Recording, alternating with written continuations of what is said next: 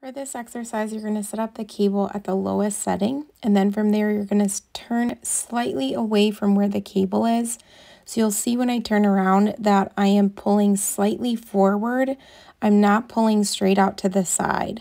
That just aligns everything up better for your lateral delt fibers.